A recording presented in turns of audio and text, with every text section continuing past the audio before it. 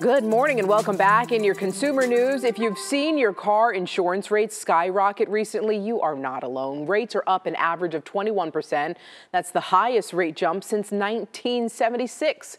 Car insurance premiums alone contributed a half a percentage point to last month's overall 3.2 inflation rate. So why is this happening right now? Well, the cost of car repairs are up and the number of traffic deaths in the U.S. is also rising along with risky driving behaviors. Insurers logged losses only 27% of collision claims in 2022, the latest available figures.